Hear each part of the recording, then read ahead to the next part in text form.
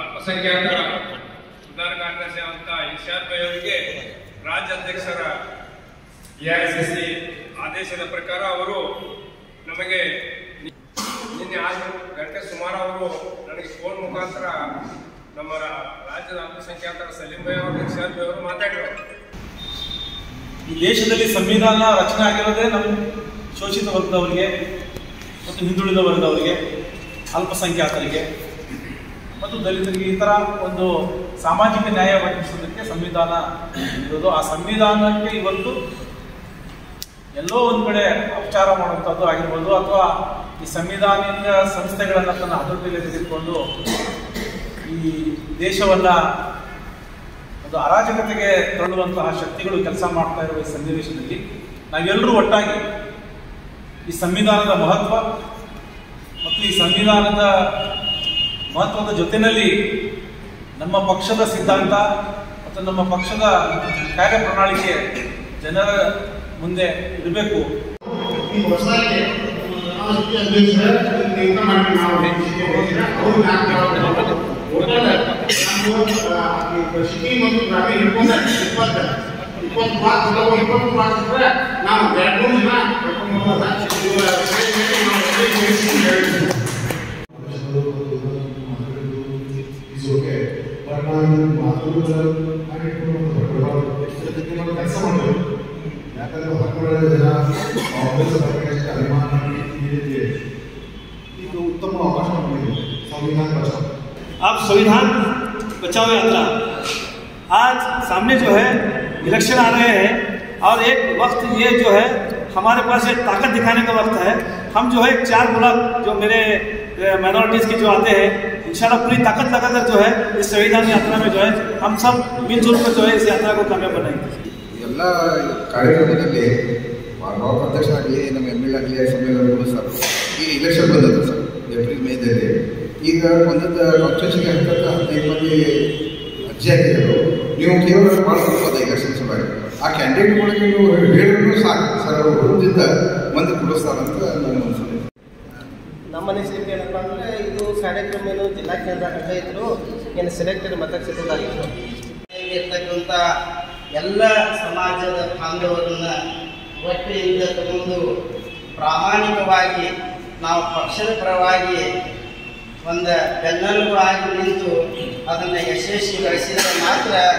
ಮುಂಬರುವ ದಿನಮಾನಗಳಲ್ಲಿ ನಮ್ಮ ಕಾಂಗ್ರೆಸ್ ಪಕ್ಷ, ನಮ್ಮ ಕಾಂಗ್ರೆಸ್ ಪಕ್ಷದ ಮುಖಂಡರು ನಮ್ಮಂಥ ಕಾರ್ಯಕರ್ತರು ಎಲ್ಲರೂ ದೈವ ದೈವಕ್ಕಂತೇಳಿ ನಾನು ನೂರಕ್ಕೂ ನೂರು ವಿಶ್ವಾಸಯುತ ಪರಮಾತ್ಮನ ಮೇಲೆ ವಿಶ್ವಾಸಯುತ ನಾ ಹೇಳ್ತಾ ಇದ್ದೀನಿ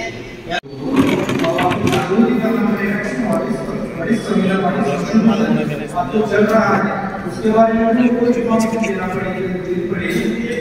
बहुत सारे लोग हैं कॉन्स्टिट्यूशन के बारे में भी कुछ अपोजिशन अपोजिशन बोल रहे हैं वो सही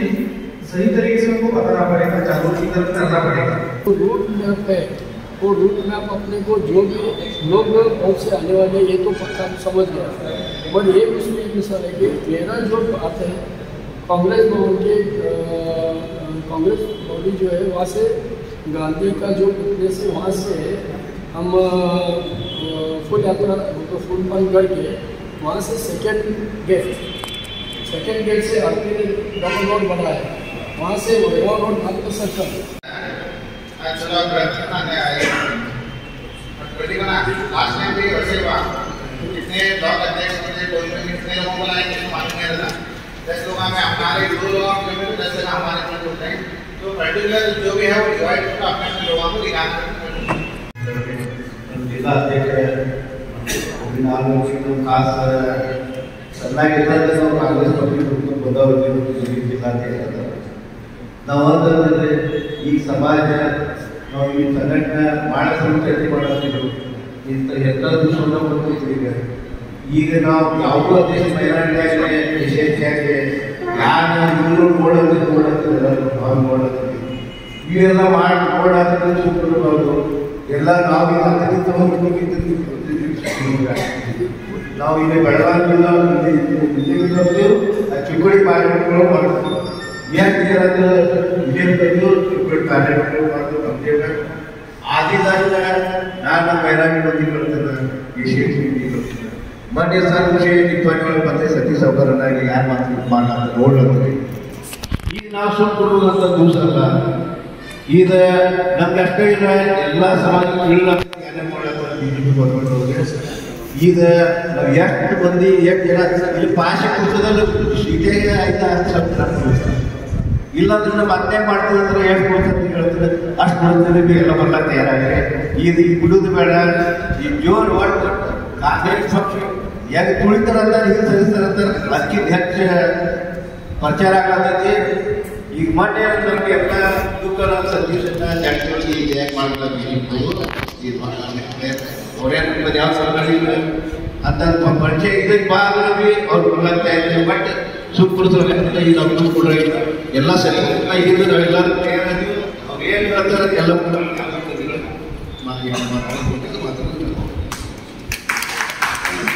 ನಗರದಲ್ಲಿ ನಡೆಯುವಂಥದ್ದು ಒಂದು ಕಾರ್ಯಕ್ರಮ ಇರೋದು ಕೂಡ ನಮಗೆ ನಗರ, ನಗರದವರ ಇಲ್ಲಿರ್ತೀವಿ ಸಮೀಪ ಆದ ಜನ, ಹೆಚ್ಚಿಗೆ ನಾವು ಇಲ್ಲಿ ಇಲ್ಲಿಂದ ಹೆಚ್ಚಿನ ಜನ ನಾವು ಇಲ್ಲಿ ಲೋಕಲ್ ಸೇರಿಸ್ತೀವಿ. ಆಮೇಲೆ ದೂರಿಂದ ಏನು ಬರ್ತಾರಲ್ಲ ದೂರಿಂದ ಬರ್ತಾರೆ ಅವ್ರಿಗೆ ಕೊಡ್ತಾರೆ ಅದನ್ನ ಆಮೇಲೆ ನಮ್ಮ ನಗರದಕ್ಕಾಗಿ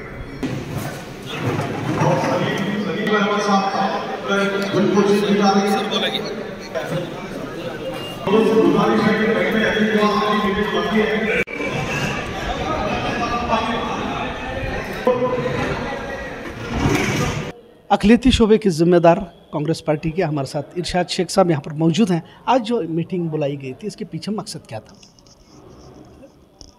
हमारे हरदिल अज़ीज़ लीडर और नेशनल एक्स प्रेसिडेंट और हमारे चहेते नेता श्री राहुल गांधी जी आज कन्याकुमारी से कश्मीर तक भारत जोड़ो यात्रा कर रहे हैं। तो हमारे एआईसीसी के नेशनल कोऑर्डिनेटर के राजू जी और पीसीसी प्रेसिडेंट श्री डी के शिव कुमार जी ने एक प्रोग्राम दिया है कि संविधान बचाओ यात्रा जहाँ जहाँ पर भारत जोड़ो यात्रा नहीं पहुँची थी तो उन ज़िलों में संविधान बचाओ यात्रा करने का एक प्रोग्राम उन्होंने दिया है, जो पूरे हमारे डिपार्टमेंट्स हैं, जैसा कि S C S T O B C minority labour cell तो इन और फिशरीज़ और R G P S Rajiv Gandhi Panchayat Raj Sangathan इन तमाम जो आठ नौ डिपार्टमेंट्स हैं, वो मिल के इस यात्रा को, भारत संविधान बचाओ यात्रा को एक ये मुहिम चलाने वाले हैं। सर, ऐसा नहीं लगता कि संविधान बचाओ यात्रा को के लिए काफ़ी देर हो गया। वैसे तो 2014 से हमने देखा है कि किस तरह से अदलिया हो, फिर इंतज़ामिया हो, तमाम किसी यानी कि एक सियासी पार्टी के दबाव में काम करते हुए नज़र आ रहे हैं। क्या ये कांग्रेस इलेक्शन करीब है इसलिए तो संविधान बचाने की उनको फ़िक्र नहीं हो? नहीं, ये पिछले छः सात साल से ये लगातार कांग्रेस पार्टी वो लोकसभा में हो या सड़क पर हो जो भी कॉन्स्टिट्यूशन के खिलाफ जो जो मुहिम चल रही है या कॉन्स्टिट्यूशन के जो इंस्टीट्यूशंस हैं, उन पर जो कब्ज़ा करने का जो एक एक कोशिश चल रही है तो उसके खिलाफ कांग्रेस पार्टी हमेशा लड़ती आ रही है। ये नहीं है कि इलेक्शन आए बोल के आज हम लोग लड़ रहे हैं। तीन चार पाँच साल पहले से भी ये लड़ाई जारी है लेकिन इस बा, इस इस बार क्या हो गया है ये बहुत जो भी फ़िरका परस्त ताकतें हैं या जो देश को कमज़ोर करने के ताकतें हैं तो उनको उनका पनपना ज़्यादा हो गया है इसलिए हम आज हर उस, वो नागरिक को ये बात पहुंचाना चाहते हैं कि कॉन्स्टिट्यूशन ही एक ऐसी चीज़ है जो इस देश की आत्मा है और इस देश को बचा सकती है और हमारे आने वाले जो बच्चों का मुस्तकबिल है तो उसको एक हिफाजत कर सकती है। नहीं, आप बराबर कह रहे हैं कि संविधान बचाने की ज़रूरत तो है, लेकिन ईडी एनआईए जिस तरह से सरकारी महकमा का इस्तेमाल किया जा रहा है और हो भी रहा है पूरी शिद्दत के साथ कई सारी जगह पर हमने देखा है। तो इस पर अब जाकर ये इकदाम करने की क्या ज़रूरत है? पहले भी तो कर सकते थे। नहीं पहले भी कर रहे हैं हम। हम लोकसभा से लेकर जितने भी कौन से हमारे सर कितना असर हो रहा है उसका? असर तो हो रहा है। आने वाले की टू नोटिस मुसलसल जो है डी के शिव कुमार को दी जा रही है। नहीं नहीं हमारे हर लीडर को सताया जा रहा है। सिर्फ़ ने कर्नाटक नहीं है हिंदुस्तान में जो लोग भी इनके खिलाफ आवाज़ उठा रहे हैं जो भी इन ताकतों के खिलाफ लड़ने की कोशिश कर रहे हैं तो उनको एक प्रताड़ित करने का या उनको तकलीफ़ देने की कोशिश हमेशा चलती आ रही है। लेकिन ये देश को सिर्फ़ अब तक कांग्रेस पार्टी ने हर सतह पर जाकर बचाने की कोशिश की है। इस बार भी हमारे लीडर इस चुनौती को स्वीकार करेंगे और आने वाले दिनों में लोग बदलाव चाहेंगे और बदलाव नज़र आ रहा है तो आने वाले दिनों में इसका असर दिखेगा। आज हमारे साथ एक खास मेहमान, जनाब असलम नालबंद साहब यहाँ पर मौजूद हैं। और असलम नालबंद साहब अथनी यानी कि क- चिकोड़ी कॉन्स्टिट्यूंसी अथनी से वो अपनी उम्मीदवारी भी दर्ज किया और टिकट के लिए उन्होंने डिमांड भी किया है कांग्रेस पार्टी। सर आपने जो डिमांड किया है कि आपको कैसे उम्मीद है कि आप जीत सकते हैं या फिर कांग्रेस आपको टिकट दे? क्योंकि चर्चा तो आपकी चल रही है। सर आज हमारी चर्चा चल रही है चिकोड़ी पार्लियामेंट के अंदर आठ एम क्षेत्र हैं। आज तीन रोज़े रही पाँच जनरल के तो अतनी को पहला भी कांग्रेस एमएलए मुस्लिम चुन के आए थे। उसके वास्ते पहले से मैं बीस पच्चीस साल से कांग्रेस में रबते आई। माइनॉरिटी चिकोड़ी पार्लियामेंट उपाध्यक्ष हूँ। भी आजकल के अतनी में हर एक समाज के साथ मिलजुल के हैं। और हर एक काम कोणत्या भी कांग्रेस पक्ष का पहले से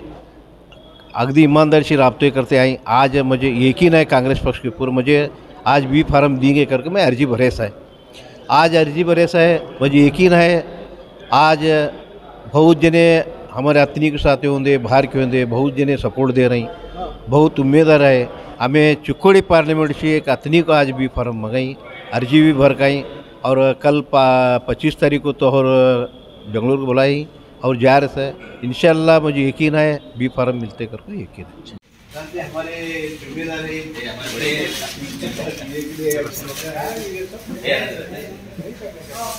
बड़े